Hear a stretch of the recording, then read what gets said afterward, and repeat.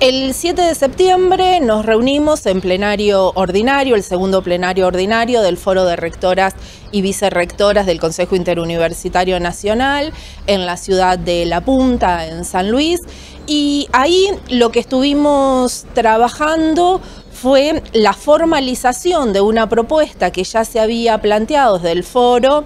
en el plenario ordinario del mes de abril sobre organizar una capacitación para todas las áreas de legales de todas las universidades del país con perspectiva de género. Entendemos desde el foro que es fundamental que las áreas legales de nuestras instituciones acompañen los procesos que vienen llevando a cabo, los protocolos,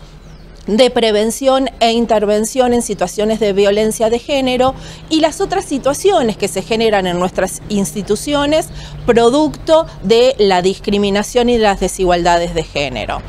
Eh, estuvimos trabajando durante todo este año haciendo acuerdos con distintas instituciones y podemos anunciar ahora que junto con la RUGE del CIN y el Foro se ha concretado eh, una capacitación desde el Ministerio de Justicia de Nación, donde capacitadoras van a tener presencia en todo el territorio nacional, en todas las regiones,